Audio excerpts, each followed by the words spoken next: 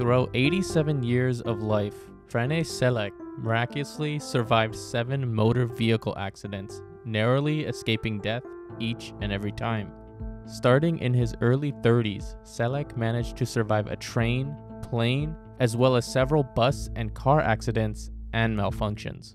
While the exact timeline was not independently verified, he has gained fame as either the luckiest or unluckiest man in the world. Frane Selak, known as the world's luckiest man, lived from June 1929 to November 2016. As a music teacher in Croatia, his life was ordinary until his first near death experience in 1962. Selak was involved in a train accident when it derailed and sank into a freezing river. According to Selak, 17 passengers died, but he managed to make it to shore despite having a broken arm bruises, and hypothermia. In the following year, Selak was entangled in another freak accident. According to Selak, during his first and only plane trip, the door malfunctioned and opened mid flight.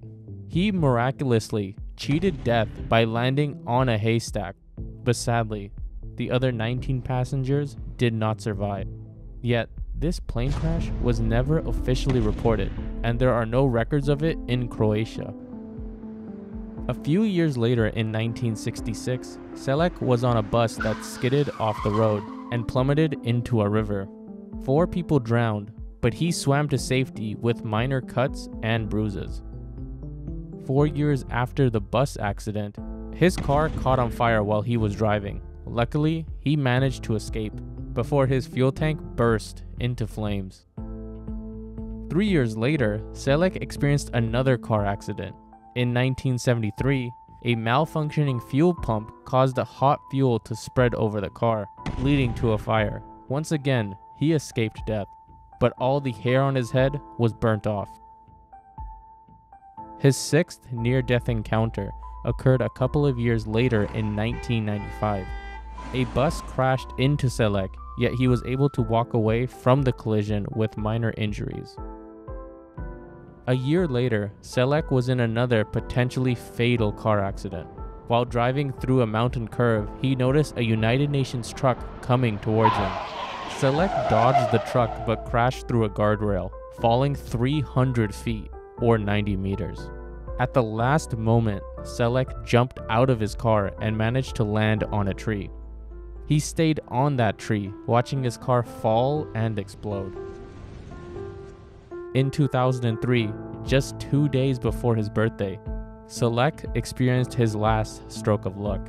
He won 600,000 pounds on his first lottery ticket in Croatia. With his winnings, Selak bought two new homes and a speedboat. Although, in 2010, he sold his new homes and opted to live a frugal lifestyle with his fifth wife. He decided to use the remaining money on his friends and family. All of Selak's accidents were never independently verified, and his timeline was inconsistent. There are doubts that any of these events happened at all. Ripley's Believe It or Not claimed that Selak was known to exaggerate his ordeals and their effects. While people are debating whether he is the luckiest or unluckiest man, Frane Selak explained in a Telegraph article, quote, I never thought I was lucky to survive all my brushes with death. I thought I was unlucky to be in them in the first place. Unquote.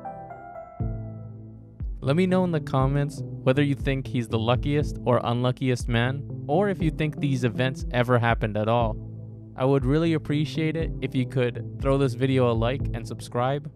All the sources are in the description below. I hope you enjoyed this video and I would like to thank you for watching.